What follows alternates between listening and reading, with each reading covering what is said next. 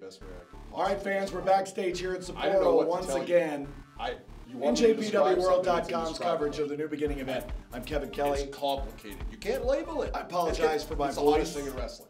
I'm telling you. It's a, sorry. Where? I've been taking calls I about the understand. ending of the show. I understand. People asking me to explain the unexplained. You know. Well, what we do know is this. We know that we have a, and first of all, thank you very much for joining us here. Uh, we hope you enjoyed tonight's presentation, A New Beginning in Sapporo. Uh, amazing night. We have two new champions here in New Japan Pro Wrestling. Let's start off with that. Let's start off with what we do know. We know that Roppongi 3K has unseated the Young Bucks to become the new IWGP Junior Heavyweight Tag Team Champions. We do know that Switchblade Jay White pulled the biggest upset in New Japan history and is now the new U.S. champion. That's right.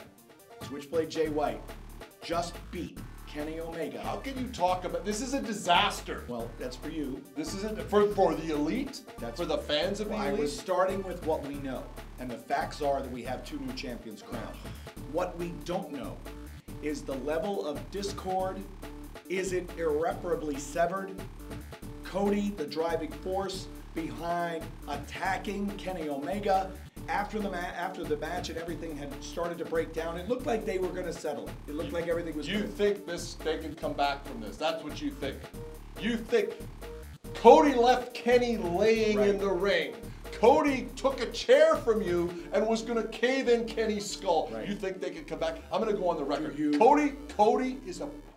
Okay. He's a jerk. This is the worst thing I've ever seen. This is a case of his So now- massive ego. Now this is this is the feelings. This is the feelings that you've had. This is the feelings that everybody's had since day one about Cody being in Bullet Club, isn't it? I mean, let's just say. it. Kenny pushed ah. Matt Jackson down to the floor, who has an injured back. Yeah, but Cody caused it. Cody causes Cody- all the heat. Okay.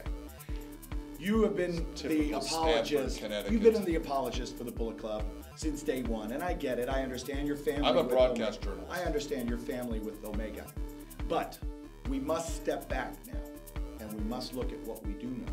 We know that at New Year's Dash, Cody was ready to destroy Kota Ibushi with a chair, and it was Kenny Omega that made the save.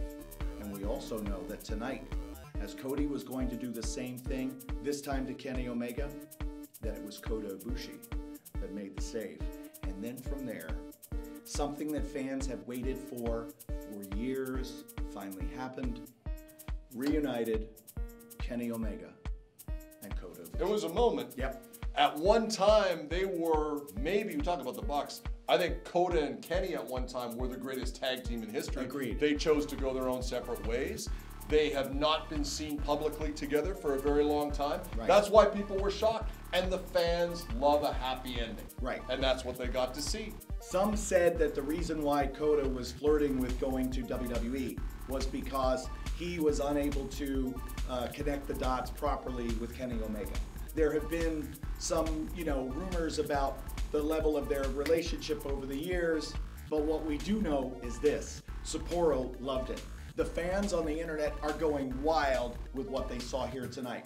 Oh, absolutely. And I don't think we should look to label it. it what it is is maybe the two best athletes Mm-hmm. in all of New Japan, maybe in New Japan history, are together again. Right. Are they going to be a tag team? Are they going to be friends? Am I going to see them out at the airport having a coffee? I don't know. Right. We But- don't know anything more than that at this moment in time. That's why we will continue to follow this story. Now, we do want to make sure that we have everybody watching and everybody paying attention because the next few days for New Japan Pro Wrestling are going to be monumental. Not only do tickets go on sale tomorrow morning at 10 a.m. Pacific time for Strong Style Evolved on March 25th. Make sure you go to njpw1972.com to get your tickets. But then you follow the road to New Beginning in Osaka. Two events, the 5th and 6th, Korakuen Hall. We will be there broadcasting live with English commentary. I promise you my voice will be fine by then.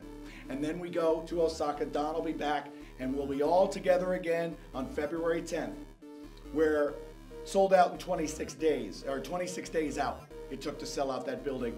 Fastest sellout in Osaka history all the titles on the line with uh, Chaos versus LIJ in singles matches, including our main event with Okada defending the IWGP Heavyweight Championship against Sanada, who looks ready to go after tonight.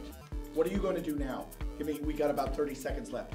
What's your next move as family with Kenny Omega? Uh, well, you know, I mean, family gets together, family has each other. I got to go see what the hell is going on. All right, we will do that. Thank you very much, Don. I appreciate that.